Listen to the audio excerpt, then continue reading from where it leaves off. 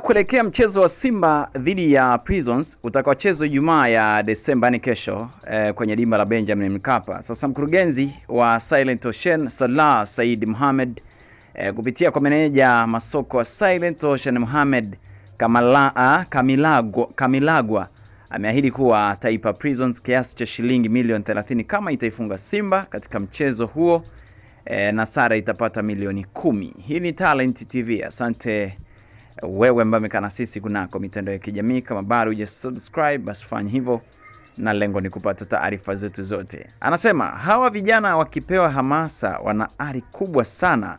Kwa hiyo sasa wanakwenda tarehe 30 versus Simba, yani dhidi ya Simba.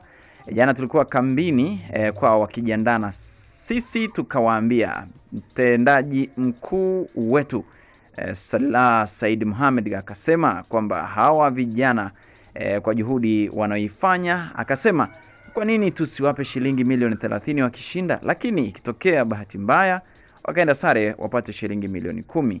Silent Ocean ni wadhamini wakuu wa Tanzania Prisons na wamekuwa na utamaduni wa kuwapa motisha wachezaji wanapocheza mechi. Mechi yao dhidi ya Yanga walipewa shilingi milioni 20 kama wangeifunga na shilingi milioni kumi kama wangeitoka sare.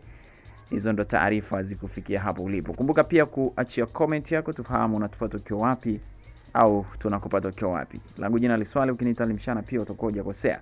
Ni Talent TV. Asante wewe ambaye umesubscribe. Kama hujafanya hivyo, hujachelewa, fanya hivyo, na lengo ni kupata taarifa zetu zote. Mimi sina la ziada, nikukumbushe pia unaweza kulike, share na kucomment hapo chini. Tukutakia utazamaji mzuri wa vipindi vyetu vingine.